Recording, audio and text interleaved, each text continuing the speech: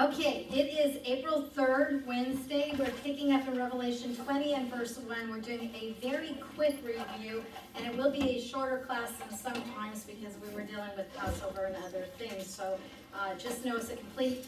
If you're if you're short, if it's one CD this time, it's because we, we went a little shorter. Okay, um, we have been looking at the fact that the millennial kingdom, this period shown by the circle here, is literal, is real, and is 1,000 years, which is what millennial means. We looked last week and said that there are those who say it's just an allegory and it won't happen, it's not to be taken literally. We discounted that. We looked at those who said that after the millennial time, that's when the, the Lord returns and there's this fulfillment. Uh, that the church has to rule and reign and, and prepare the world for the coming of Messiah. We saw how that's not true because in Revelation 19. That in chapter 19, he comes to the Battle of Armageddon, which is from northern uh, Israel way down into the south. We saw it's in Megiddo, Armageddon. It's in uh, the Valley of Jehoshaphat. It's in Jerusalem. It's in Bozrah. Uh, Edom comes up. The, God brings back from Edom those that I believe he has hidden. So we see it covers a massive area. We see that he comes back with a sword out of his mouth, that he annihilates the enemies of Israel on the mountains of Jerusalem, that the Antichrist and the false prophet are cast into the lake of fire. Where do you see a beautiful surrounding? Everybody's praising the Lord, serving the Lord, and ready for Messiah. You don't see that. I think what brings in the confusion is the scripture that says that the Lord won't return till they say, Baruch haba Hashem Adonai. Blessed is he who comes in the name of the Lord. They also say that God said to, to Yeshua Jesus, Sit here at my right hand until I make your enemies your footstool. So they're expecting that all those enemies have been made a footstool and then he comes. On the basis of that, I think they're misunderstanding because it is, those are right, but it's all happening at the same time. When the Lord does return and is seen from east to west like the lightning in the sky, is at that point when he's coming back that they see the nail pierced hands. This is Zechariah 12:10. When they see, they're going to mourn for me as one mourns for his only son. They're going to realize, whoa, he was, he is our Messiah. Now, who are these who are going to so quickly see that? I believe they're ones who the seed has been planted in their hearts. They've been being witnessed to by the 144,000. They've seen the two witnesses and what they've done. They've been coming to that point, but they and, for those who have come to that point and have believed and have accepted, they are the ones because we're going to see very shortly the people who go into the millennial, who come out of the tribulation and go into the millennial will only be the believers. The others, we're going to look at a sheep and goat judgment of Matthew 25. The goats are going to be left out. The sheep are going to go into the kingdom. They're the ones who are believing. So, who is going to be saying it? The 144,000, because they're still on this earth. Mm-hmm. Those that have been evangelized by them that have come to believe and have not been martyred. We know that a great majority of their number will be martyred and will be up in the heavens in, in a different position than those on the earth. But those who have managed to make it to this point have not been martyred, and I think are coming to that point, even by virtue of all that's been happening around them that it's going to all come together and they are going to realize and they will be the ones crying out and saying that. It's not a worldwide saying it, but there will be those who are saying it. And in essence, God has made the enemies the Lord's footstool by that point through his pouring out of the wrath that has judged the sin. The Lord just, in essence, finishes it off, just puts the final touches on uh, because it immediately stops. He doesn't come back and have to battle for a day or a month or you know two weeks or anything. I mean, it's immediate in his return that the fighting stops. You know, they're fighting each other. They're fighting for the land called Israel. They turn on him, and he just that's it. They're gone, and they're gone by the power of God who is working through his son who is equal to him in that role of Messiah, which means we're seeing him in his deity because the Messiah that's going to come and sit on David's throne is the Messiah who took on human form. to fulfill the need of the sacrifice for mankind. The first Adam condemned us all. The second Adam is who can save us all. But he can't save us if he's not of us. In other words, he can't be an angel and save the human race. He had to be human. He had to take on human form. We know that he did. We know that he came into the Jewish race. We know that the promise was to the Jewish race. The Messiah would come from the loins of David, David. We know it goes further back than that, but I'm just taking it from King David because uh, 2 Samuel chapter 7 talks about how David will always have someone on his throne. We know the Lord is sitting on his throne in, in heaven right now, on the right hand of God the Father. Remember the beautiful love seat? And we see everybody around praising, but we're talking about the earthly. Because remember when we looked at this millennial period and we said this is literal, then all of these promises will be fulfilled to Israel, literally. Where do we see them? In Isaiah, in Zechariah, in John's words, in Daniel's words. Remember I said, in the mouth of two or three witnesses, let a thing be established. If you're going into a court, you want as many eyewitnesses or as many testimonies as you can get. That weighs heavily on a jury. This one says they saw it. This one says this is what's going to happen. Well, this one is agreeing with that one, and this one's saying the same thing too. Well, by the time you add up all of that, you've got a lot of evidence that proves your point. Why is that so important? Because if God isn't going to do what he said he was going to do when Yeshaya, Isaiah recorded his words, if he's not going to do what he said through Zechariah, if he's not going to do what he said for Yohanan, and for Daniel and Daniel, Daniel especially, because he gave that whole scope of prophecy, and he related it to Daniel's people. And when we went through the book of Daniel, we saw that the many in the book of Daniel are the Jewish people. These are the promises made to the Jewish people as a nation. And if God does not fulfill what he told through all of these prophets and through a couple more that we're going to add to the list today, then wow, I'll tell you what, I'm not going to trust God with my salvation if he changed his mind back here, and you could say, well, that's because the Jews were bad and they didn't do what they were supposed to do. Well, hello, Christians. How good are we? Are we doing what we should be doing? You know, it, it is the church on display for the world to see and say, wow, look at them. No, we're not doing, I don't think any better. Maybe we're doing a little bit. No, I really can't even say that because there, were, there was always the faithful Jewish remnant and there's always the faithful believing remnant today.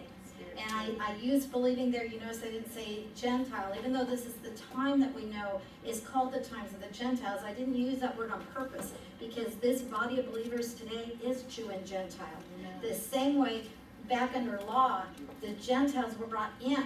Well, now it's not under law, it's under grace, and the Jewish people are brought in, same way as the Gentiles are on equal footing.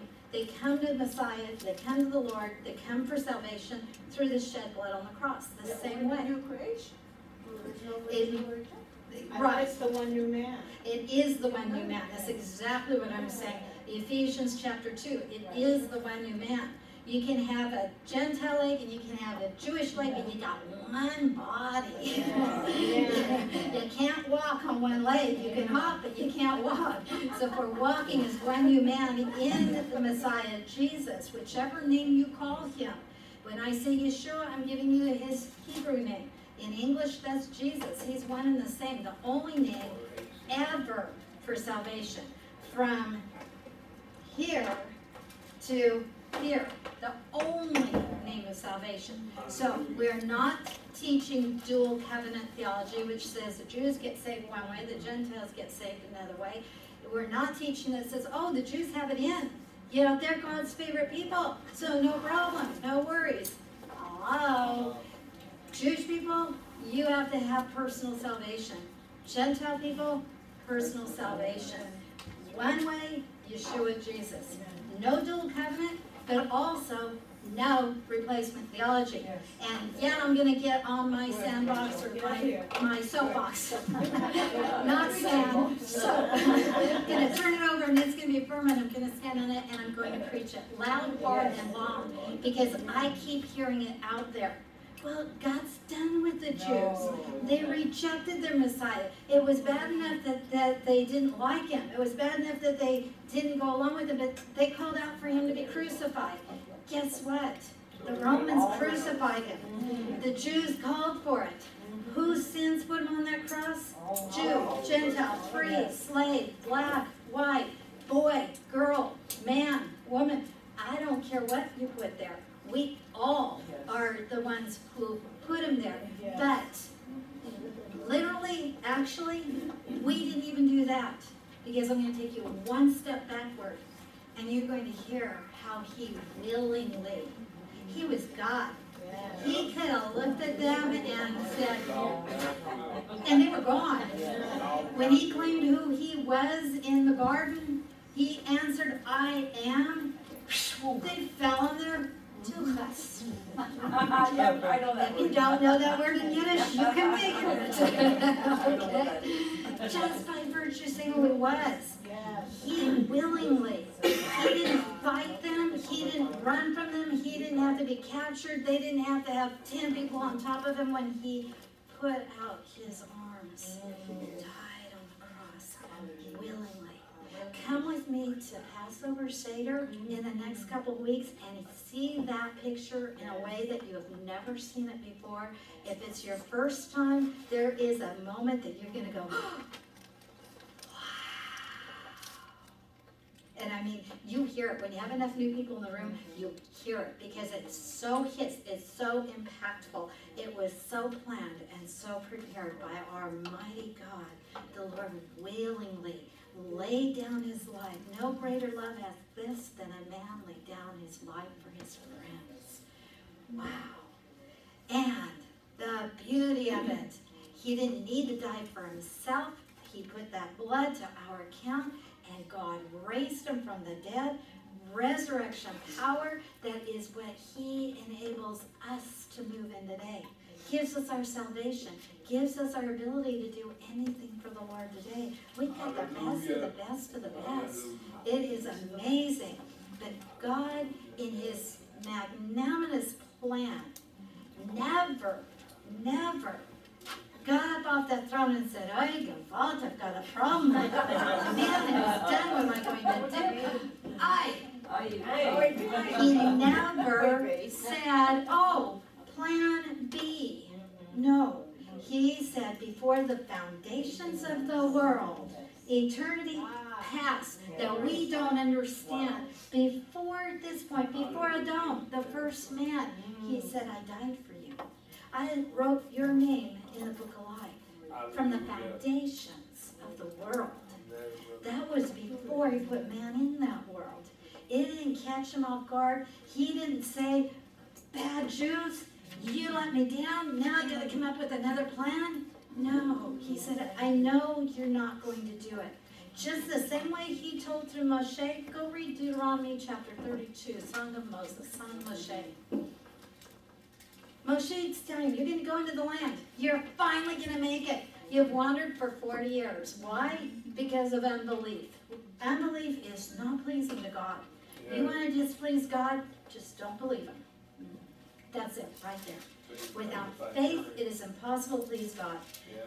That generation did not believe. They listened to the bad report of the ten spies. They did not listen to the two godly men, Joshua and Caleb, Joshua and Caleb. They didn't listen to them. Hey, we can't take the land. There's giants in the land. Don't we have a giant God? Yes, we do. Hallelujah. I have a great need. I got a God to meet that need. But they didn't listen, and because of their unbelief, after all God had done, parted the Red Sea, fed them every day, manna from heaven. He's feeding them, he's taking care of them because of their unbelief. They were not allowed to go into the promised land. This generation is going to die off. I'm raising up the new generation. Moshe, you don't get to take them in because you also were disobedient. He did something that marred a picture that God wanted for people of all time. He was showing the rock that was struck once is Yeshua. By striking that rock that second time, he, he ruined the picture and he also was as if he were doing something instead of the glory belonging to God and God alone. It wasn't, we must do something, it was God would do it. So God harshly dealt with Moshe and said, you don't get to take them in. But I'll let you see. You'll bring them right up to the point, I'll let you see, and then Yeshua is going to take them in. Interesting, Moshe, Moses represents the law. The law could not save. Joshua's name means God saves. That's the one who takes them in, because he's a picture of the Lord. But here they are, they're ready, they're on the precipice of going into the promised land, and he gives Moshe a whole list of what to say. When you go into the land, when you're in the land of milk and honey, when you're in the land of plenty, don't forget me. Because that's what people do. When you're in your plenty, watch out, because that's when you'll forget your God.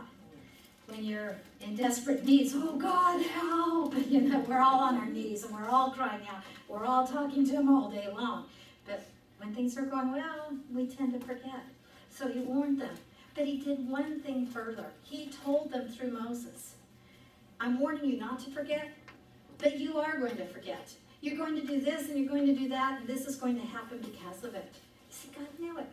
He knew all along because He's made us. He knows what sin has done to us. He knows how our hearts are. Uh, and I'm talking mankind all the way through time. He knew. He knew Adam and Eve were going to have a problem in the garden. You think if anybody else would have done any better, he wouldn't have put them there instead.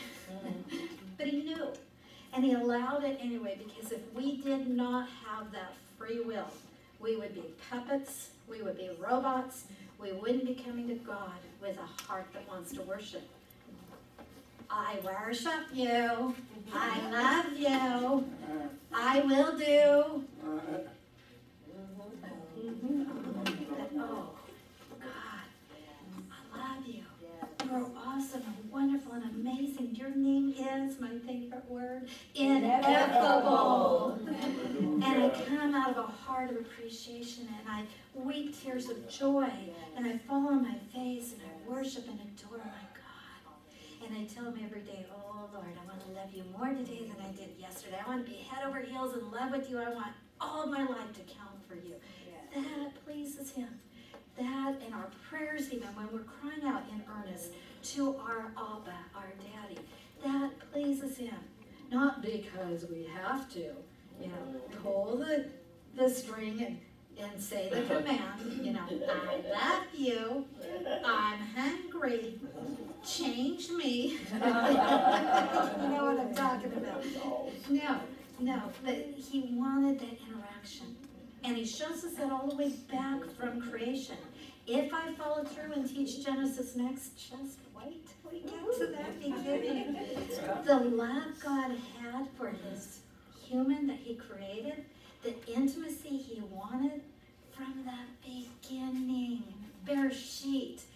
Oh, it's amazing. And he enters into a special relationship called the Shabbat, the Sabbath. And he says, on the Sabbath, remember, I'm your God who created. I created all of this for you, and I created you. And then I showed you how to enter into relationship with me. And when I get into the Hebrew in that, oh wow, it's amazing. But that's not classic, so let me move on. God knew they were going to fall. It didn't stop him. He had a plan of redemption. Bereshit 3.15, Genesis 3.15, the first prophecy telling us that one would come who would save us from the curse of sin that came on all humankind when Adam fell.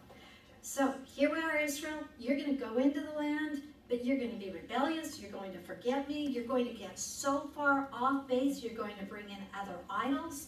You're going to forget your Shabbat. You're going to deal harshly with your fellow brethren, let alone the world. You're not going to be my mouthpiece to the world. You're not going to be a nation of priests to the world. You're not going to take the gospel message out. So I'm going to allow you to suffer some consequences because you've taken yourself out from under my umbrella protection. So when it's raining out here and the umbrella was over here, whose fault is it that you're getting wet? You know, who moved who where? Okay, come back in.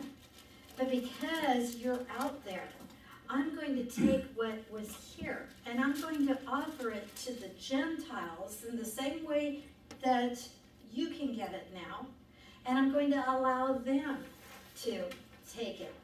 As we see right now, most of the world missionaries are Gentile to the Gentiles right now. It's the time of the Gentiles. Now, don't exclude the Jews because Romans 1.16 says that the I am not ashamed of the gospel of Christ. It is the power of God unto salvation for all who believe, to the Jew first, and also to the Gentile. And it's simply meant as an order, not a second class. God didn't say they're second class, just the order. So he put it in that way, and even with the Gentiles, he's saying, go to the Jew, take it to the Jew. Who's the great apostle to the Gentiles? Paul. Where do you see Paul every Shabbat?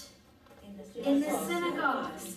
Where do you see when he goes to start a new church plant? Where do you see him go? To the synagogues. He sees how many Jewish people he can start the nucleus with. Then he adds in the believing Gentiles. In some cases, is more Gentile than Jewish, and in time, it definitely is more Gentile than Jewish. And unfortunately, because of animosity and other problems that came in, there are those in that Gentile world that started to say, we anathemize anything Jewish. Can't do that. Forget that. You Jews, leave it all. Don't hold on to any of your heritage. Don't hold on to any of your culture. You need to become a good Gentile Christian. And the world buys it because Satan's behind that. That's the beginning of replacement theology. You Jews were bad. That stuff's all bad. It, it was rejected. It was finished. God turned his back on you now. That's why he raised up Paul to the Gentiles. Well, if God turned his back on the Jews, then why is Paul in the synagogue reaching the Jews first? Why does Paul say to the Jew first? Why does Paul, when he gets fed up in that one city and wipes the dust off of his feet and says, I'm done with the Jews, if he meant no more to the Jews, no message to Jews, no salvation for the Jews, I'm going strictly to Gentiles, I'll have nothing to do with the Jews, so why in the very next chapter, the very next community he comes into, where do we find him? In the synagogue. Well, Paul thought you were done with them. No, I was done with those Jews there because they were so oh, hard hardened. The work wasn't going to be accomplished to them. So I went to the Gentiles there, and now I've moved to a new area. And I'm checking in this area. Do I have soft hearted Jews? Where's my Jewish ones that will come to believe? And it goes on. We've got nucleuses of churches started now. And if you want the Jewish way of saying it, it was a messianic community. That was what it was called at first a called out assembly. The name church, that's so Gentilized today, is not the name that was given back then. You don't find church in scripture, you find called out assembly. Well, who were the believers in, quote, Old Testament, which I call original? Who were the believers? The called out assembly, the ones who God called out. They made up the Commonwealth of Israel, but not everybody of Israel, in Israel, was of Israel. What did that mean? That means that there were those who were not believers, who were not part of it.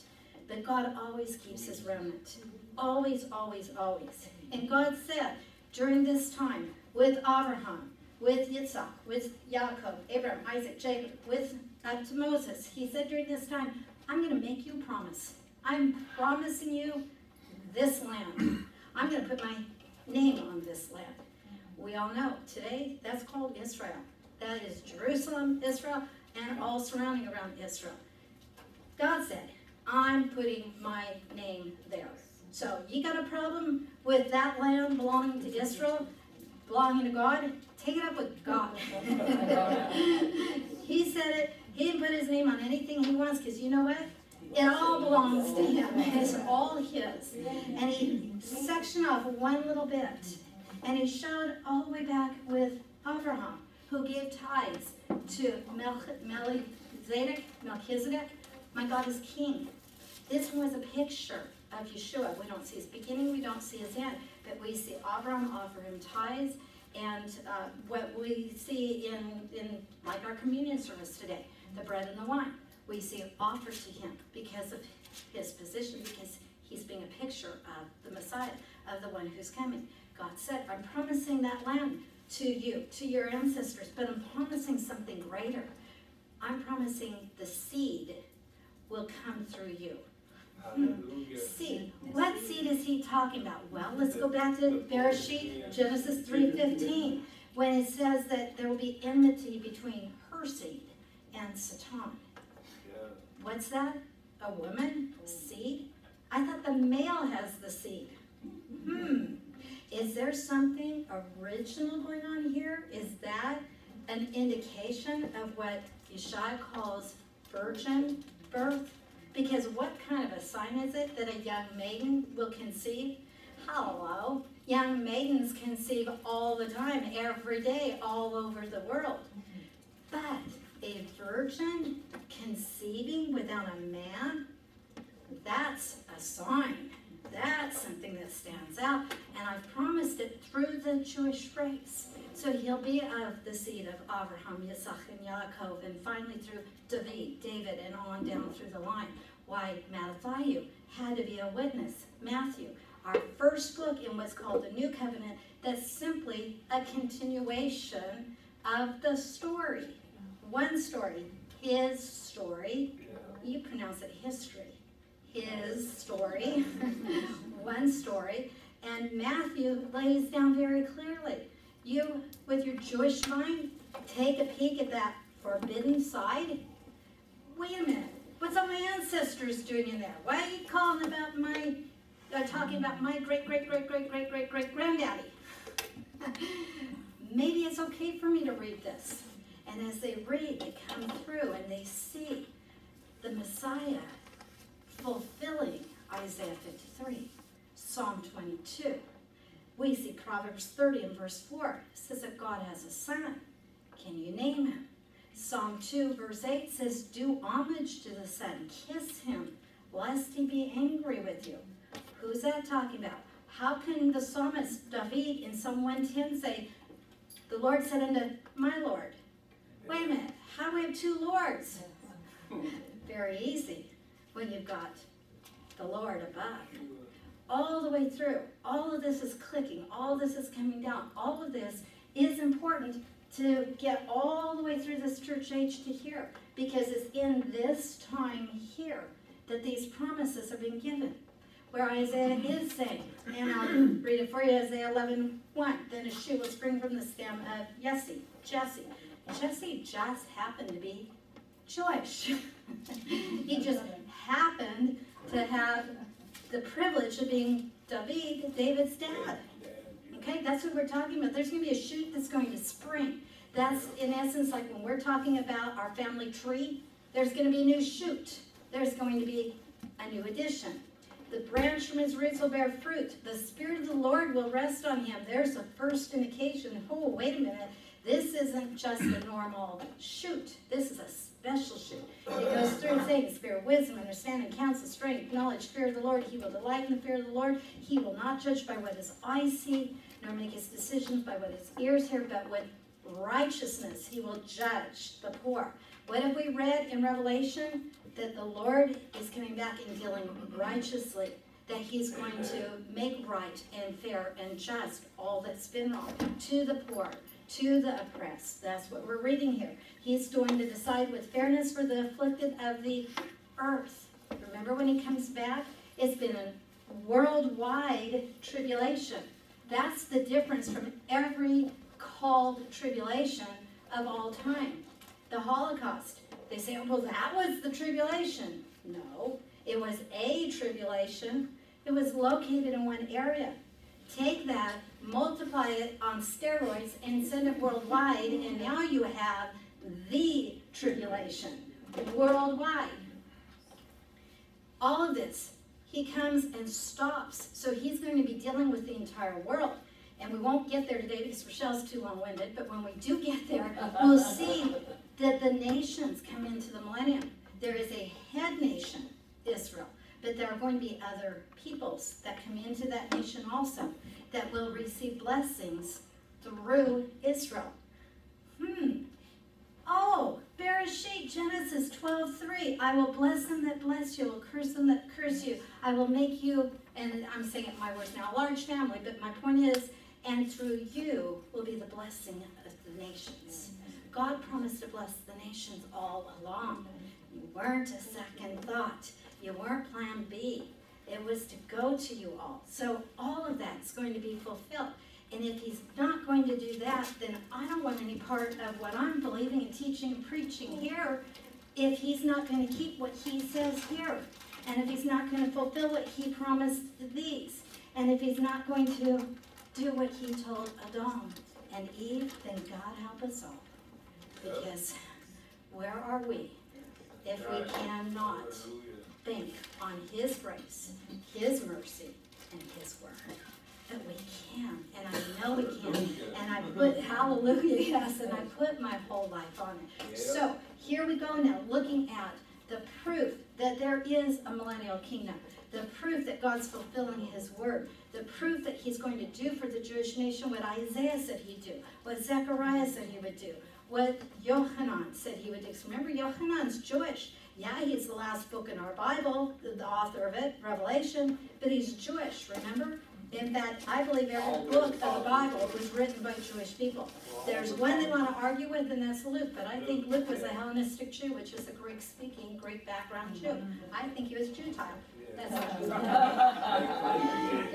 Gentile. part Jewish, part Gentile put together. Okay, all right.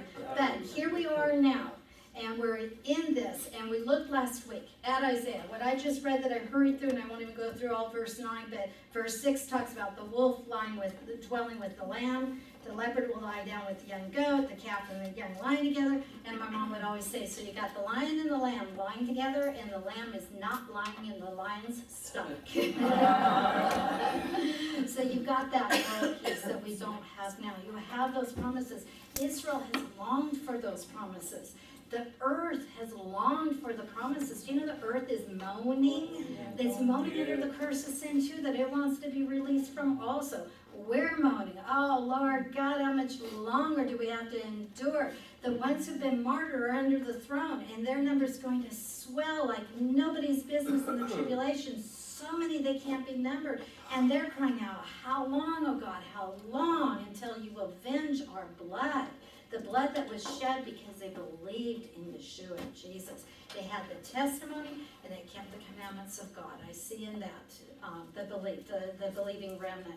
So this is why it's so important. We see it as one book, one story. We see it as a complete. There is not a replacement. God didn't change his mind. He didn't turn from it and say, forget this. How many times have we done that? Tried to do a plan, it didn't work, we gave up, we and moved on. Well, that's human. That's because we can't to pull it all off. We can't do everything we want. We get grand ideas and they fall flat. That's human. Our God is not human. Praise God, He's not. If I was believing in another human again, God help me, because I don't care how good the best human is, they're going to let you down. They're going to fail. They're going to die. But I've got a God who is great. I've got a God who lives forever. I've got a God who had it all planned from the start. I got a God who does not fail. And when He says every word will be fulfilled, every word will be fulfilled. So, how do we get the millennium? By the coming of the Messiah. You can't have peace on this earth for a thousand years without Messiah sitting on the throne. This earth has never known peace. It will never know peace until He rules with that rod of iron. So we looked at that last week. That was in Isaiah and Zechariah and in Yochanan. We see that He's coming back to rule, to reign, to be King Messiah. That also was promised in the original covenant. He's taken care of the sacrifice side now. He came humbly, he came low, he came riding on the donkey. He didn't come with the entourage to do a king. But now, Matthew 24 30, we saw from the east to the west, he was seen. He has come back in his glory. He has come back with the armies with him. Remember, that's us. He's mm-hmm. come back to stop the enemies of Israel, to set up the temple, to put his glory in that temple. And he had to cleave the Mount of Olives, make room to make it as big as he's going to need to make it, because it's going to be so large that all the nations will come up and be blessed. So again, nations will go into this time. But the conquest of all the nations is achieved by Messiah's return. There is no other way. I do not see any scripture that tells us any other way for all of the conquests, the battles, the wars, the fighting to be over except when King Messiah with that sword, the word of God out of his mouth says enough. And when he says enough, the whole world. Salvation comes to Israel at that point in time. When all Paul says in Romans 11, and by the way, 9, 10, and 11 are great for Israel. 9 is past, ten is present, eleven is future. When he says in, in eleven, twenty-five and twenty-six that all of Israel will be saved, there are those who grab that, say, see, don't worry about witnessing to a Jewish person, all of Israel is going to be saved, Paul said it. No, he's talking about the nation, he's talking about the land that the Lord is coming back to, but the people at that time that will look up as he's returning, who have had their hearts prepared, who may already be believing or right there at that edge that, that when they see will be convinced. They will realize, wow, this is the one that we rejected. He is our Messiah. Blessed be his holy name. When he comes to stop the battle in Israel, they are going to praise him. They are going to see. it. The ones who are hanging on for dear life, literally, that have been able to follow the book of Revelation, that knew not to take the mark of the beast, that knew time is coming to an end. He promised it. It's a seven-year period of time on basis of Daniel's 70th week. Well, we know that, that, and I believe a sign for the start of the tribulation is the rapture, so I'm going to put it there. You can argue with me later, but I got all the scriptures to prove my point. That starts time. So they're gonna know, well, you know what, there was that, that time when those people disappeared and what they called the rapture. And it's been about six years since then, so I know in this next year, he's gonna come back. Mm-hmm. You know what, thank God they're gonna have that. Because look at us, when we're in our misery and we think, if I just knew when it would end, if I just knew it was gonna come to an end. And when we begin to see that light at the end of the tunnel, we get so rejuvenated, don't we? Well, it's gonna help them because it's so horrendous. They need everything they can hang on to. And they are going to pick up this, this map. And they're going to study it. They're going to see it coming alive. Where we've said we think this means this, they're going to say, hey, this is what it means. It's not going to be hard for them to understand. And they will know to be looking for Messiah's return. They'll know that he's coming. So again, that's how salvation will come to them at that moment in time. I don't believe I've given you because we didn't list it. One more prophet, who spoke the truth. Remember, if they didn't speak truth, they were to be taken out and stoned. They were a false prophet. Don't listen to them. But these are the ones who were proven true. Micha, Micah. Go to Micah. Go to Micah chapter 7 again, there's so much evidence. How can they deny this? I haven't a clue. When you see time after time after time, all saying the same thing. Isaiah was seven hundred BC. Micah, I think, is, that's what I was thinking, five hundred BC. Okay, so you got two hundred years difference from there. Uh, Yochanan, ninety-five AD. Now you're spreading eight hundred years. When we can go back further, we'll see it goes back even further. You've got time here. These are people from different times, different walks of life, different backgrounds, different languages. They're all saying the same thing. The, the, have you ever tried to get the same story out of three people in the same room? you know the hand of God wrote this. You know it is Him speaking, that these were just His mouthpieces or would not agree. You show me one contradiction in this book, and I'll tell you, okay, you know what? It's all over. I can't trust any of it then. But there's not. What appears to be contradictions, we have the answers for. They cannot argue it down. Archaeologically, oh, I forgot to bring it. I got a new article. They just found an inscription that goes back in temple times again. And it, it's naming Nathan, the servant of Josiah, if I remember correctly. Yeah, I, I- is that the I one? that one. I, I printed it out so I could Yeah, share it, I- it got all excited, because there's been no proof of this person outside of our Bible until archaeology digs it up. And it just happens to be the right era. Yes. Fifty-three, uh, I think it's fifty-three eleven or thirty-five eleven. Fifty-three is too high, Second Kings though, yeah, yeah, you can look it up. I, I, I wrote it down too because I, I heard it. And I saw that, and I thought I wanna bring it to people because it excites me. Archaeology proves the Bible. Oh, there's no one like Pontius Pilate. If there was someone that important, we'd have his name outside of biblical history. There's no way he was a real person. That was spoken all the way up into the nineteen fifties. Guess what archaeology uncovered in the nineteen fifties? And I've seen it. I couldn't read it, but I've seen it because it was in Greek. It is, a- it's, it's a stone about yay big, I would think at least, in Caesarea, on display. You can see it, Tony's seen it too, and others have gone to Israel. You see his name mentioned, and his name is mentioned with the higher up name of the one who was over him, the Caesar at the time, and then his name. It showed this Pontius Pilate at this time. When did scripture say this Pontius Pilate? At this time. It all brought it out. It silenced those mouths. Archaeology, science. They try to say that science and the Bible don't get along. Baloney, and it's not kosher. they get along fine. You can get onto creation research science websites who can speak on the scientific level.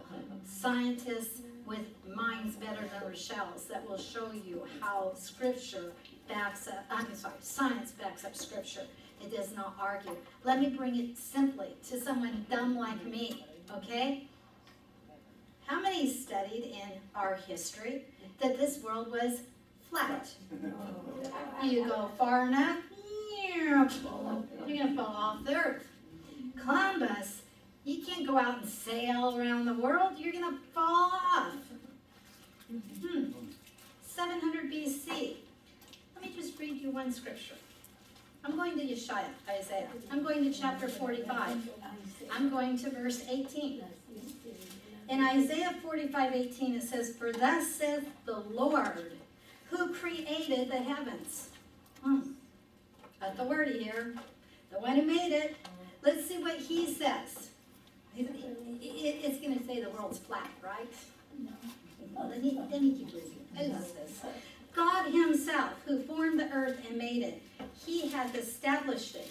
You know what? I'm reading the wrong verse for us. This is the one where he didn't create it in vain. Okay, it's still in Isaiah. Well, I gave you the wrong reference. Hang on a minute. Um, okay. Oh my goodness.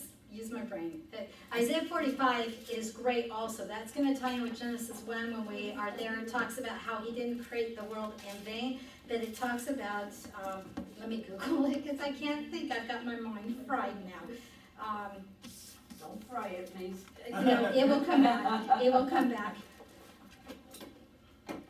Um, oh goodness, to build my case like this and then drop the ball, forgive me. But I will have it in one moment. Isaiah 40, 22. I knew it was Isaiah, I just was in the wrong chapter. Isaiah 40 and 22. It still tells us in Isaiah that it's a God who created who is speaking. But now here is Isaiah 40 and verse 22. It says, It is He, talking about God, is He upon the circle of the earth and the inhabitants thereof. Well, if the earth is flat, I'd call that a square. I would not call that a circle. But Isaiah called it a circle. Do you know Christopher Columbus's mappers were Jewish? Do you think that maybe they had a few hints from their own ancestors that helped them navigate for Columbus? No, you're not gonna fall off Columbus. It bends. It's a circle. Isaiah tells us that. Do you know there's even proof that Columbus was a Jewish leader? Very interesting. But what matters is God said it. That he was going to Ophir, the Philippine area. And there are Jews who wandered there, so I know where Tony's headed. Okay, but my point being, science on a simple level proves the truth of the Word of God. We're told in Nahum, Nahum 1 and verse 3, that the clouds are made up from the dust of the Lord's feet. What does science tell you clouds are made up of? Dust. Dust. And then the, the, the vapor, the water, you know, forms in it. But clouds are made up of dust. Many a time, many a time. And like I say, on, for those who need it on a scientific level, the Bible can hold up to them also. I'm not a scientist, I'm not here to give you a science class today, but I can tell you it fits. I can tell you the probabilities of prophecies being fulfilled are astronomically impossible. And I can take you to one person His name is Yeshua. And I can tell you that I can prove to you how I know he is the Messiah that was promised because of all the prophecies he fulfilled. Where he was born, who his parents were. Any of you choose that? Anybody here got to choose where they were born? Anybody here got to choose their heritage, their parents, their line? Well, let's take someone who needs to be born in Bethlehem and let's complicate it. His Amma, Ima and Abba, his mommy and daddy, are in Nazareth. They're not living in Bethlehem. And she's nine months pregnant. but a decree goes out from a Gentile that makes them leave Nazareth and go down to Bethlehem. On donkey, on foot, however, I know she didn't take an airplane. I know she didn't have a cushy car. I know she didn't have an easy ride. And yet she didn't give birth until she got all the way into Bethlehem. Bethlehem. That's just blood. That's proof. Son says fingerprints don't lie. I give you fingerprints for the Messiah when we study the case for the Messiah. When you get to eight of those, the probability is ten to the seventeenth, zero. That one person could fulfill eight prophecies. That's ten, and now add on one, two, three, four, five, six, seven, eight, nine, eleven, twelve, thirteen, fourteen, fifteen, sixteen, seventeen. That's the chance of one person filling eight. And my God, in Yeshua Jesus, when he took on human form to fulfill all that God had promised, almost three hundred, in fact, actually it's over three hundred prophecies by the time that we're done. And eight of them. You know what? If you take silver dollars, two feet deep, cover the, the place, the state of Texas, put an X on one. Stir them up, drop it anywhere you want in that whole state of Texas, as deep as you want, or put it on top wherever you want. You put one, one place. Now, parachute somebody out of a plane into the land of Texas and tell them, walk through the state of Texas anytime you want, anytime. Reach down and pick up one silver dollar. You can pick it up from on top, you can pick it up from underneath, you can pick it up from the middle, you can pick it up when you've walked for 20 days, you can pick it up on your first day. No stipulations, just pick up one. And your chance that you're going to pick up that one silver dollar that has that X on it is 10 to the 17th power. Do we have an awesome God? Is he amazing? so amazing. Science, math, archaeology, any way you slice scripture and you come at it, bring your profession to the book. Test it and see. Not one word fails. We have an awesome God. Hmm, way off track. Let's get us back on track. Let's go back to our millennium. Yes. The, the one, I, I think this is the one that twenty, the second Kings, Kings twenty-three eleven, which they mention, well, he says, remove from the uh, entrance, uh, to the temple of the Lord, the horses that the king of Judah had dedicated to the sun. They were in court, in the court, near the room of the, of an official named Nathan Melech. I think that's the one that you're talking about. I about. think so, I think so, yes, that sounds right, and I will bring the article next week, but that was Second Kings And what was it that, that, that his name was on it, was that on a, um, some kind of a? A signet ring, uh, uh, like a seal, A signet. Okay, that's what it was, a yes, signet. yes, right? which holds power. The same way that we've seen the seal, the seal of, on the hundred forty-four thousand, the seal of the Holy Spirit on us, the seal of the king when Daniel was thrown into the lion's den, the seal on the tomb when they tried to keep Yeshua in the tomb. Ha, what a joke. That same thing, so it, it showed, you know, I mean, that's why you would find it, because it was something very important, you know, that, that was used back then. And it fit with the names and the time and everything, so I'll bring you that article and we'll get that on the video, we'll, we'll announce what it is specifically at the time, but I believe you're right, from what I'm remembering. Thing that uh, the scientists try to prove that it's not from Bethlehem. He says Bethlehem, Ephrata. Very good, very good. Bethlehem, Ephratah, there were two Bethlehems. It made it specific which one. It- Everything, and again, I could go on and on and on, that's another class. We will follow this class between whatever book we pick up next after Revelation. We will follow it with, um, sharing our, uh, our faith with our Jewish, uh, friends, loved ones, neighbors, however you wanna put it. And I'll bring you the case for the Messiah in that. If that isn't an exciting class, nothing is. It builds also, gets you real excited. But right now, we're excited because we've got King Messiah. He's the conquest of the nations. Salvation has come to Israel. I've already quoted to you Zechariah, Zechariah twelve ten. We listed him last time, but that's the one where it says that they will see him who they have pierced and that they will mourn for him. So I think I've covered that well enough. We see in the millennium, we're not going to read it right now for sake of time, but we'll read it next week. Revelation twenty verses one through three are that Satan, Satan is controlled, he is bound during the thousand year time. That's why this line that represents Satan all through time, he is the prince of the power of the air, he works in the principalities of the power of the air. He comes down and indwells the Antichrist at the halfway point of the tribulation.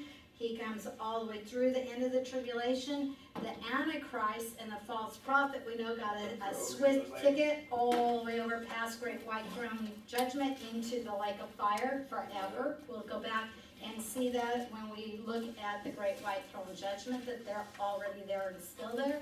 But at this point, Satan is not cast into the lake of fire. His work's not completely done. He is brought down into the bottomless pit, into the abyss. Yes, again, hallelujah. The one who is a thorn in our side, the one who is the deceiver, the one who is the liar, the one who is, Troublemaker, I'm sorry? the troublemaker. the troublemaker, the, the great dragon, the old serpent, all of that. And we're going to look at those names in, I think it's verse three, but we're going to see he is bound during the whole thousand years. He is not able to affect the people during that time. He's not going to be doing to them what he's doing to you and, and me today. You ever heard him whisper in your ear? Yeah, he gets you to do something and he condemns you for it. You know, he trips you up in all kinds of ways. He won't get you to do that. You don't wanna remember. Exactly. And when he reminds you of your past, remind him of his future. And, and, and if he comes knocking on your door, send Yeshua Jesus the answer. Don't answer it, send him the answer. Okay, we also will see, and so we won't look at it because next class we will, verses four through six of Revelation twenty, is the believers that have been rewarded ruling and reigning with Messiah.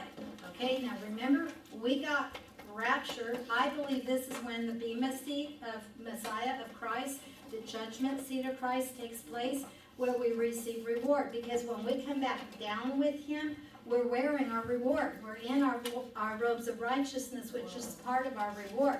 We get the robe and we get our crowns. We know that we're probably already have cast our crowns at his feet out of our choice because we want to give him something. But we are wearing those robes, so we have to have been up here at the judgment seat to receive that. Now, notice that judgment seat takes place in heaven, and I stress that because people get confused and they think you're working for your salvation. If that were true, before you got into heaven, there'd be a stop, you know how you have to stop and get checked to get in the airport somewhere now? There'd be a scale there. Okay, step up, all right, put all your good works here, put all your bad works here, let's see which way the scale goes. Oh, this one's gonna be close. Shoot, you just made it in. Go ahead, and go through the pearly gate and St. Peter, because, you know, we might as well take it to the hill, opens the gate for you. That doesn't happen, does it? You're in heaven. Oh, hallelujah. Hallelujah. You are in heaven when you're standing at the judgment seat. You've already been accepted in. Well, what opened heaven for you to get in? The blood. Yes. Not one work, not one thought, not one anything. You came through the blood. That's how God looks at us through the blood. He put his blood on the mercy seat in heaven, the one on earth was just patterned after, he put it on the mercy seat in heaven, and he opened up heaven so Paul could say to be absent from the body is to be present with the Lord. And the Lord's not in the heart of the earth anymore, you don't go down to the, to the, the paradise side of Sheol. Now you go straight into heaven. When the rapture occurs, we're gonna blast heaven. We're gonna come in. I'm not coming in single file. I got news for you. I'm gonna, I'll go over your heads and get there. Rochelle was not gonna say hi to us at all. I'm gonna be too busy saying, oh my God, and telling them. All right, right behind you. In, in the millennium, it talks about ten Gentiles grabbing the skirt of a Jew to go up to worship the Lord. So ten, you can grab hold of my skirt as I go up, and I'm going first. I just hope that you really I used to tell my really tall girlfriend that, she'd say, you gotta get started, cause I'm heads over you, and I said, yeah, but little goes faster. So, Better have a long skirt we can grab onto you.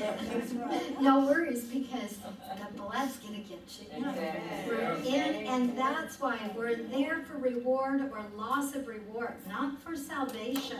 Don't ever confuse that. For reward or loss of reward.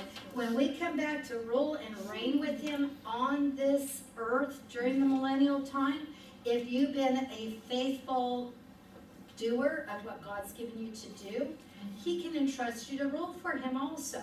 If you've been lousy at it, you're not gonna be ruling with Him. It's just, just simple. We'll go into those scriptures very shortly and we'll look at that. My dad used to say, present training for future reigning. Good way to put it. That's what you're standing there for, is for those rewards. We're going to see, because we'll go through Matthew twenty-five, we're going to look at those parables, because they're so confusing to people. I want to give that to you, because that's what goes into the millennium. In fact, I analyzed you last week, you gotta wait one more week, because we started late and we talked too long. I talked too long.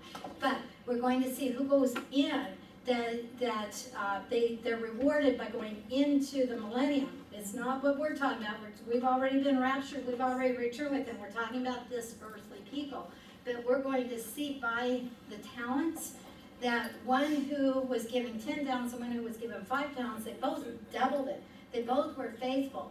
But it, it's, in essence, I could say, okay, I don't wanna get into politics, so I gotta get away from that. I gotta think of another way to say it. Let's just take a school, okay? In a school, the principal has the most responsibility. The teachers have lesser responsibility than the principal, but they have a lot of responsibility too. So it would be like the principal was given ten talents and the teachers were given five talents. And each did everything they were supposed to do. So the principal turned his ten talents into twenty. The teacher turned her five, or his five, into ten. They were both fully faithful. They both received a full reward. They both would receive positions of rulership. But again, maybe that principal will roll over the United States and the teacher would roll over California. Now, I don't mean those literally, okay, but I'm just trying to break it down for you. The one who took his one talent and went and hid it, didn't even put it at the bank where it could at least get interest, he's not gonna roll anywhere. But you notice, yeah, it, it, it's not, it's not, again, what we're talking about is ruling and reigning with him. We're talking about what's going on during the millennium. This is people on earth, this is not the ones who've been at the Bema seat already who've received the rewards, so don't confuse the two. The same way Matthew twenty-four is not the rapture. Remember, everybody, I shouldn't say everybody, but most people want to put the rapture there, two are taken, and they think the one went in, or two in the field, one's taken, and they think the one got taken to heaven, but when they were taken, as it was in the days of Noah, they were taken away in judgment. The flood took them away, they were judged. The one who, who is taken away is taken away in judgment. That's not talking about the rapture there. And when you follow Matthew twenty-four, you follow it through the tribulation time. You come to the end of twenty-four, you have the return of the second coming, not rapture, second coming. When you get done with that, chapter twenty-five, you've got the virgins, you've got the talents, you've got the sheep and goat judgment. It's all telling you who's gonna populate the kingdom, who gets to go in, who gets the reward of the kingdom, who doesn't. What's it based on? Their works. Why? Because their works prove where their heart was. So total different than us, okay? We'll look at all that next week. uh, sheep and goat judgment, all of that. So, I'm jumping real quickly, we'll go to the point that the construction of Ezekiel's temple, Ezekiel, that temple is accomplished by the Messiah. This also confuses people. You hear now that they're trying to build the temple in Israel now. There's the Temple Mount Faithful. They have the cornerstone. They have the priestly robes. They have all of the art, art, articles, everything that they need to do their worship in the temple is already made. They have all that, that what you read that was in the temple before or in the tabernacle, they have everything. They're ready. They have them in a place that they're keeping them and they show you them. But they clarify to you when they're showing them to you. You're not in a museum. These are going to be taken right out and put right into the temple as soon as we can build our temple. They've taken that cornerstone up to the Temple Mount at least three times that I know of and tried to lay the cornerstone to start building the temple. That roar is so great, the police stopped them. You can't do it, you can't do it. Remember, Temple Mount area is in Arab hands right now. Israel keeps control for safety, but allows the Muslims, because they've got two mosques up there, to do their thing, because Israel respects their religious belief, whatever you wanna call it, okay? A Lot of controversy there. In God's timing, we know there will be what I call the third temple, because we've had two already. We've had Solomon's, David set it up, Solomon did it, and then we had the, the rebuild, the one that was destroyed in seventy AD, yeah, Herod's, Herod's, that was there when Yeshua went into the temple, he went into Herod's temple, okay? It, it actually, it started in Ezra and Nehemiah rebuilding, and then Herod did a lot to refurbish it also, but it never had the glory that the first had. So, the third temple is the one I read about in the tribulation because in the middle of the tribulation, when the Antichrist is indwelt by Satan, who's always wanted, I'm God, I am going to be worshipped. So I'm going to get my worship through that man that we call the Antichrist. He's going to have a normal name. He's not going to be called the Antichrist. I mean, there'll be those who know that's who he is because they've studied the Word of God and they'll know. But he'll have his name. Um, I'm trying to think what David Jeremiah called him in his book. Um, Judas Christopher. That's what he called him. so, so my my uh, my hat off to David Jeremiah. I'll borrow his name. Judas Judas Christopher is indwelt, and he, I know he used that name because Judas was indwelt by Satan. We saw that the son of perdition. Here's your second one. At that point in time, when he uh, when he does this, it says that he puts the image in the temple and he causes the sacrifices to stop. Well, the sacrifices can only be done in the temple at Jerusalem, not temple Utah, not temple anywhere else, not even temple Samaria. It has to be the temple in Jerusalem. So if in the middle of the tribulation, you've got the Antichrist putting his image in the temple to be worshipped as God, and you've got sacrifices stopping, then obviously there's been a temple there that's active. That's not there today. Now, does that have to happen before we can go home? No. Can it happen before we go home? Yeah. Do I think it will? No. Do I think it's gonna get a big kickstart by the Antichrist, by the rapture, and the Antichrist making a false peace treaty? Yes. Yeah. Might even be, maybe, that that Ark of the Covenant that I think they really have found might be brought out. And the Antichrist, because he wants to make peace with the Jews, could say, hey, you've got your ark, build your temple. We're gonna live side by side in peace, remember? So we'll keep peace up there between the Muslims and the Jews. Now, maybe that Muslim fight has to go. It doesn't have to for room, but I have a hard time with an Orthodox Jew and a Muslim side by side unless they build a wall. so, see, I don't know how, but I'm telling you, if you see it happen, don't let that shake your faith and think, oh, I missed the rapture. No, it could happen. Does it have to happen? No.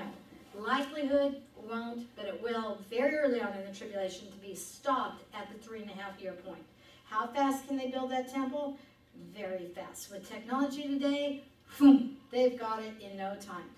That temple is not Ezekiel 40 to 48. Ezekiel 40 to 48 is very clear The size that is given is not the size that, that you'll see in the tribulation, because there's no room for that size. But more importantly, the most important point, is the one from chapter forty on is filled with the glory of the Lord. The Shekinah glory will go through. Now, we're told that the Lord is gonna come through the eastern gate and make his way to the temple. So we know that that happens by Messiah. So that temple that Ezekiel is describing is what's called the millennial temple. It will be during the millennium, it will be used, they will have sacrifices going on, we'll look at that. I think it's to be an object lesson to people who otherwise would not know the high cost of salvation. They mm-hmm. wouldn't understand. But that picture is going to be such a, a wow, I get it. Mm-hmm. And how many of us understand better with a picture mm-hmm. than just with words? They'll be doing it. They also will be doing the sacrifices of praise, the sacrifices that honor God. All of that will be going on. Now keep Ezekiel in order.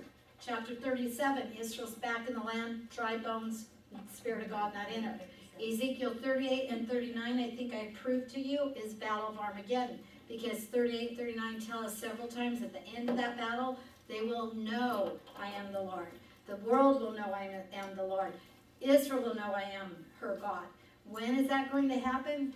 Only when the Lord sets up his kingdom. They're not going to know it before. All the way through the tribulation, we're close to the end, and they're still blaspheming God. They're still fist in his face. They're not saying, We know. The whole world is not saying. The whole world right now says, Ha! There's not a God. This world evolved. Oh,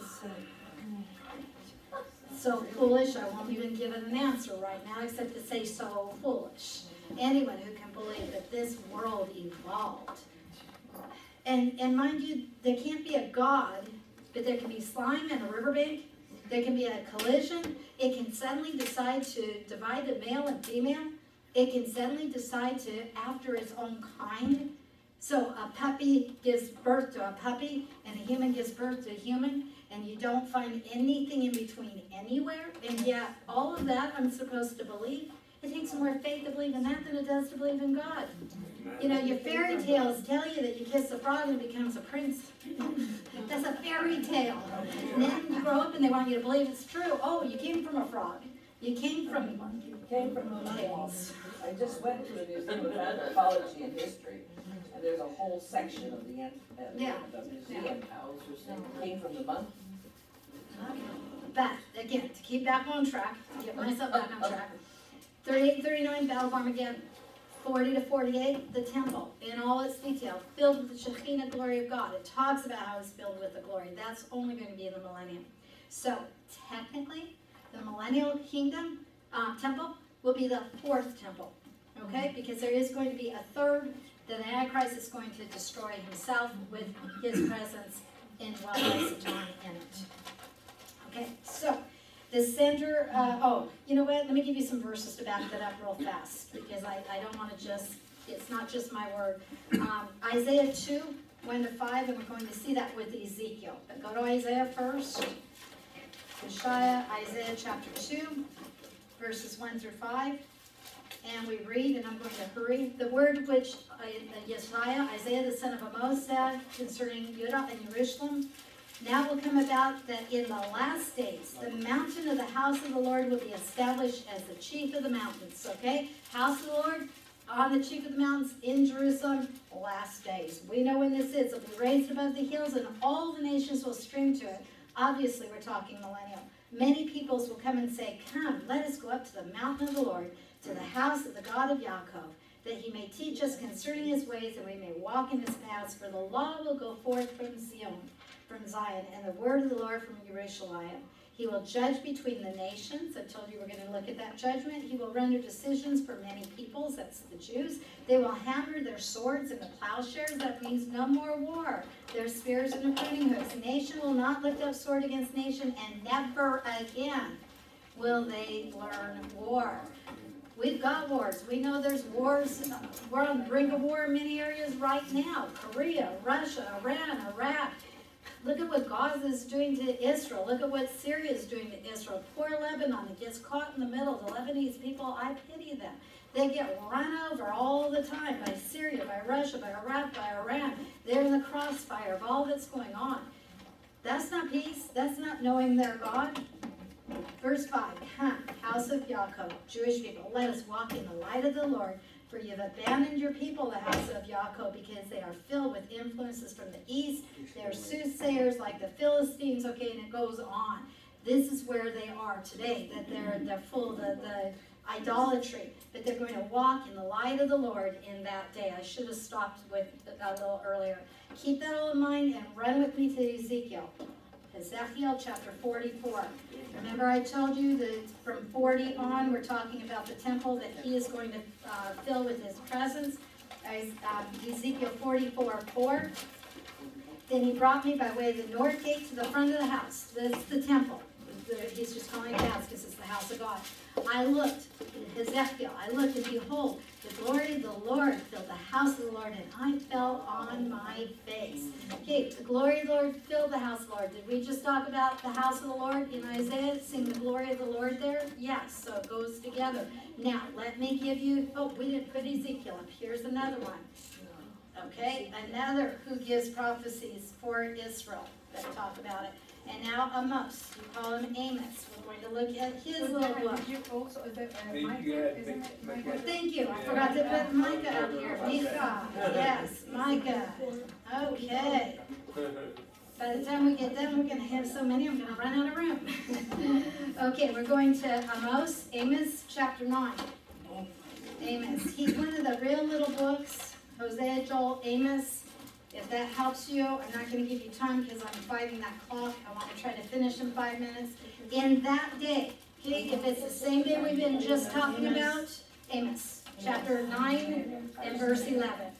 Okay, In that day, I will raise up the fallen booth of David. What's the booth of David? Is that Dave? Okay, and is it David himself, his personal house where he goes and sleeps and No, it's eats? his family, and Jesus comes out of. Okay, okay, only get, get a little more specific. Tabernacle, tabernacle. Tony just said it, tabernacle. The tabernacle's called a booth, oh, okay? The tabernacle, a booth of David. That's the house of David, that's what the temple became, okay? Because remember, the temple was the permanent where the tabernacle could travel with them, okay? So, in that day, he's gonna raise up the fallen booth of David. Do we have the tabernacle today? No. No. The, the last that, that land knew the tabernacle was Shiloh, the area of Shiloh where it was, it, it had space for it, that's northern Israel. But then Shiloh wasn't used anymore when they had the temple. When you read Ruth, Ruth, uh, Ruth, Boaz, probably have gone up to Shiloh, comes back when, um, Ruth and Naomi have come. It's probably where he gone, gone and done his worship, taken his first fruits to the temple, okay, to the booth, to the tabernacle. Okay, when you're saying the, the booth, are, is that the same thing as when they were talking about the festival of booths, when all the people were living in? No, because that's talking, that's Sukkot, and that's talking about reminding them how, how they dwelt in booths, they dwelt in uh, temporary dwelling places during the time of David's wandering. I just pictured him Yeah, having one of those yeah. booths. No, Okay. because that goes further back, that's Moshe's time, Moses' time, which is fourteen hundred Okay, I'm BC. No, that's okay, it's a good question. David's nine hundred BC. David's the one given credit for the house of the Lord, because Okay. even though Shlomo Solomon his son built it, David put it all together. He got all the plans, all the Yeah, material. But his hands were bloody hands with war, that couldn't build the house of God, so his son got the pleasure, okay? But that's why it's called the Book of David, this is his, his little baby, okay? Wall, wall up its breaches, I will raise up its ruins and rebuild it as in the days of old, that they may possess the remnant of Edom. Okay, it's gonna go on, I don't wanna keep reading because I'm, I'm fighting time. But there's a phone booth that's going to be raised up. I'm going to read you other verses that you will see follow on that, but right now, go to Zechariah, Zechariah. Zechariah, come on, go back for me. There we go, Zechariah, come on, little tablet, there we go. Zechariah, we are going to chapter um, six. Zechariah chapter six, verses twelve and thirteen. Any of you have been around, uh, our ministry that has a head name that is over many other branches. They're good, Samach. That's what you're going to read here. I'll put it up here. In English, we spell it with the S, but you can also see it sometimes T-Z. Samach is the name I'm going to use. These are the verses we pulled it from when, when we gave birth to it. By the way, just for history, which you'll hear probably on Saturday, um, Pastor Gill and I were both trying to come up with a name for our new developing work. We were throwing out different names. We hadn't come on anything. Of course, we're both praying. All of a sudden, I came up with Samach in Hebrew right when he came up with the branch in English. And it was asking me, what's the branch in Hebrew? And I was saying Samach, and we looked at each other and said, a name is born. we knew it was what God wanted. And I have seen, yes, behold. and I have seen his hand and his reason for that name. It, when he puts his name on something, whoa, he is awesome. Okay, then say to him, Thus says the Lord of hosts, Adonai Sabaoth, behold, hello, a man, okay? A man, because Yeshua, the one called the branch, the shoot of Jesse that we read about, the, the, the branch that was a supernatural branch, okay, that's all tying in here. The, the man, uh, behold, a man whose name is the branch, whose name is Samach in our Hebrew. Uh, I lost my place. Uh, for he will branch out from where he is. He will build the temple of the Lord. Who does it? He does it. Yes, it is he who builds the temple of the Lord and he who will bear the honor and sit and rule on his throne. But we just said Yeshua's going to build that temple in the millennium. He's going to sit on his throne in Jerusalem. He's not going to sit just in the heavens. He's always in the heaven also, in the presence of God. But he's going to sit in his humanity on his earthly throne in mm. Jerusalem, in the house of the Lord, the temple which he has built. And notice, this one who sits and rules, okay, so he has the ruling authority, that's kingly authority. Thus, he will be a priest on his throne. And the counsel of peace will be between those two offices. Hey, wait a minute. I thought the priest came from the Levites and the king came from Judah. Remember when I brought you out Melchizedek earlier and I said that Melchizedek, my God is king, was a picture of Messiah? Mm-hmm. And he was given tithes and offerings, mm-hmm. which is brought to the priest. We see in Melchizedek a picture of Messiah, who is, yes, king, and yes, priest. Because we know he was a high priest for us. Hebrews tells us that all over the place. That he was the greater, the Cohen Gadol, the great high priest. This was the high priest who once for all put the sacrificial blood on the mercy seat. But this wasn't the priest that died never to raise again, like all the human priests before. And this wasn't blood put on the mercy seat on earth. This was in his temple in heaven, because this was the high priest who, yes, would die so that his blood could be spilt, but this is the one who would rise from the dead and live forever. This is the one who is, yes, high priest, put the blood on the mercy seat in heaven.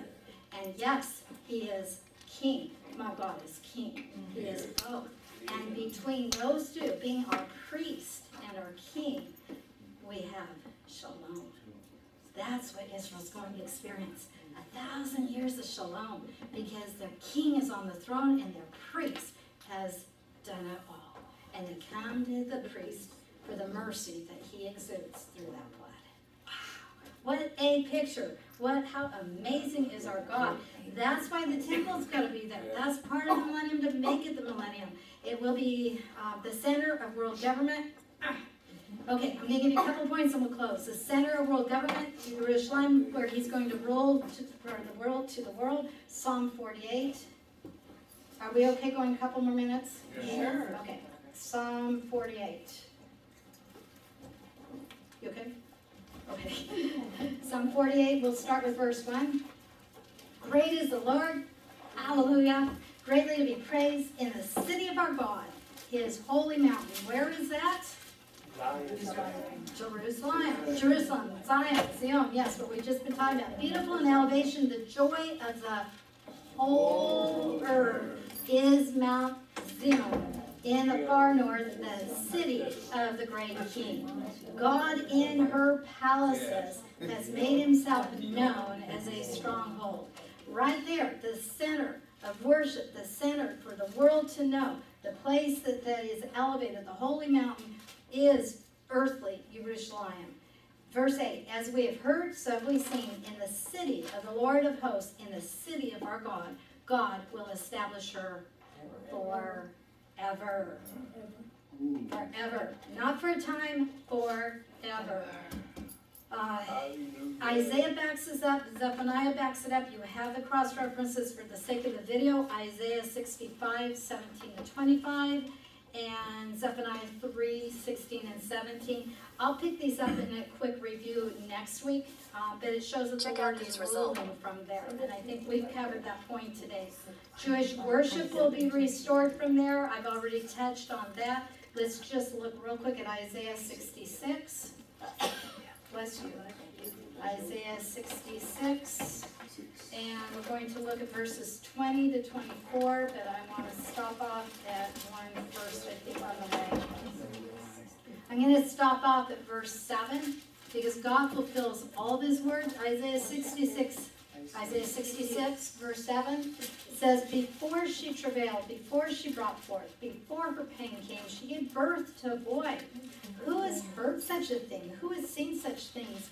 Can a land or can a nation be born in a day? Yes. Yes. What happened in 1948? The nation was born in a day, actually rebirth, but born in a day. God fulfilling, putting Israel back in her land.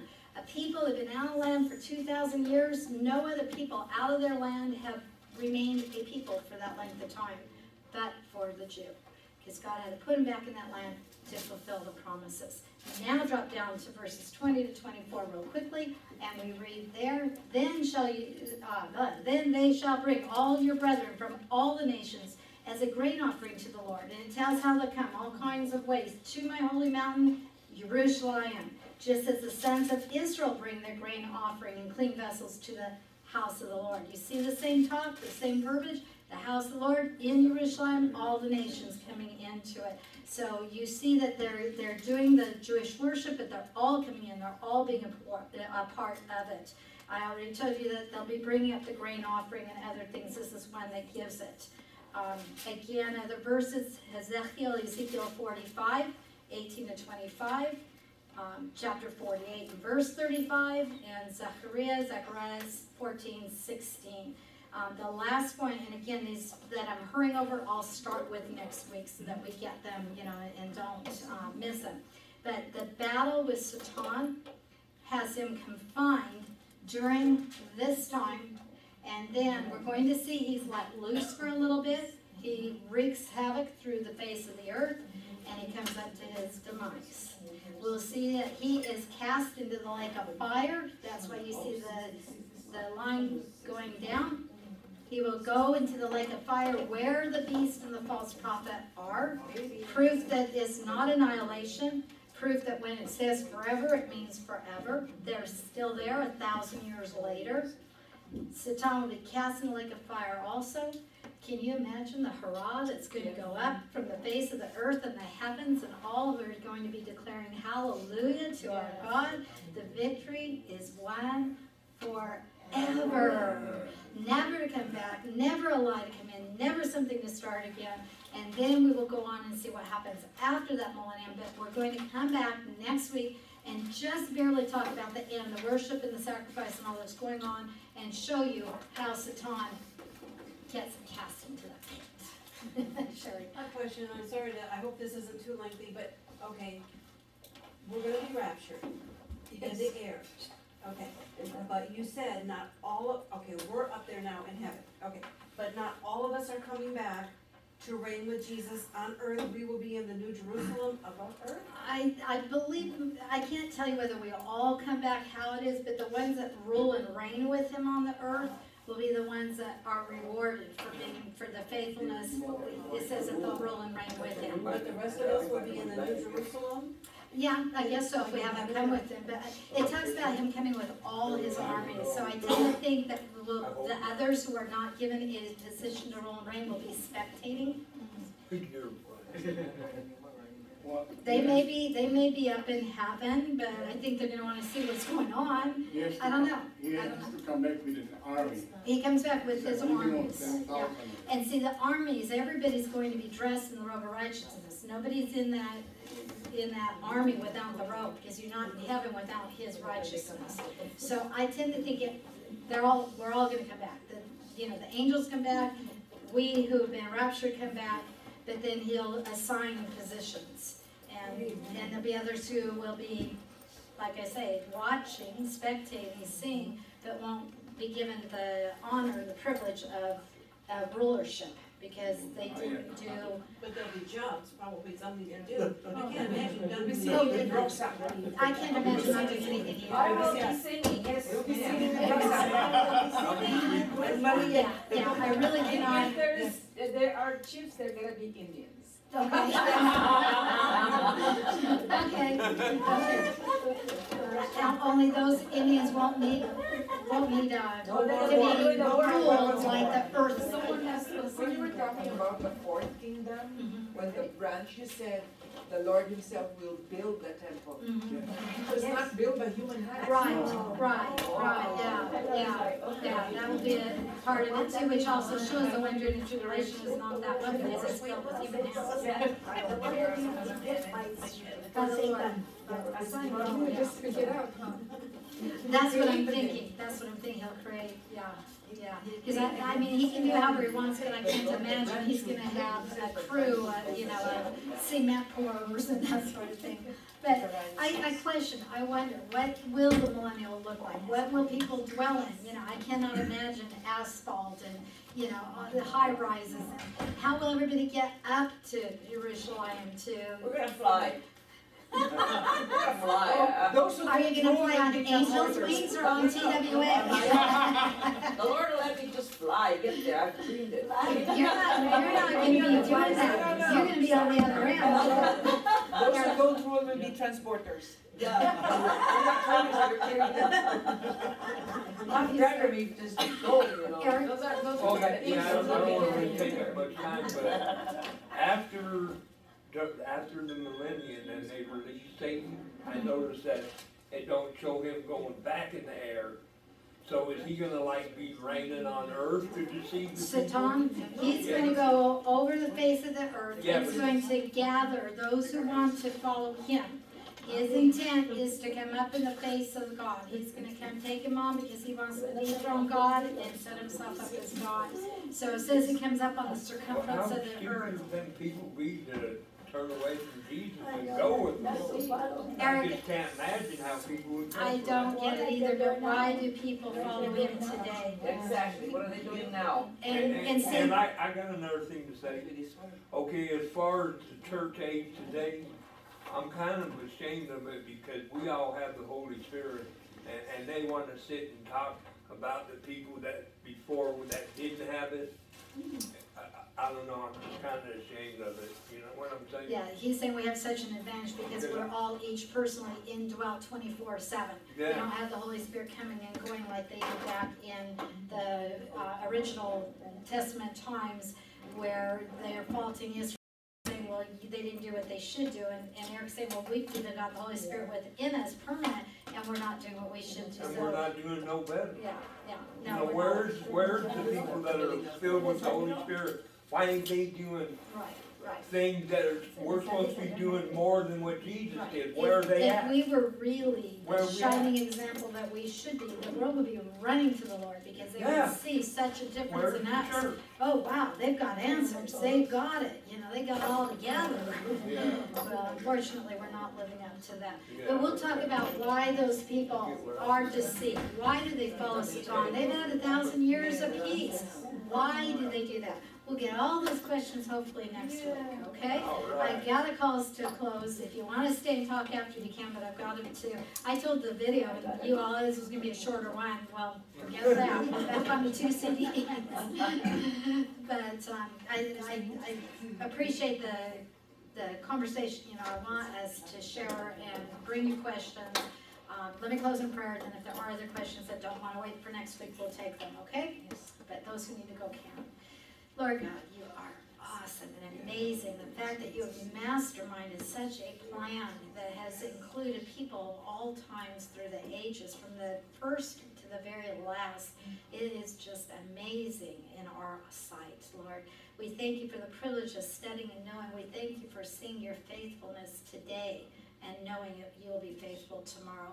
We thank you that you are the God of yesterday, today, and tomorrow. We thank you that you keep your word. We thank you that we have no fear of our salvation. We rejoice and we look and long for the day when you come back and reveal to the world who you are. Set up that kingdom. We can rule and reign with you. And Lord, even more glorious, we can hardly wait till when Satan is cast into the lake of fire forever. And we can go on praising you throughout eternity.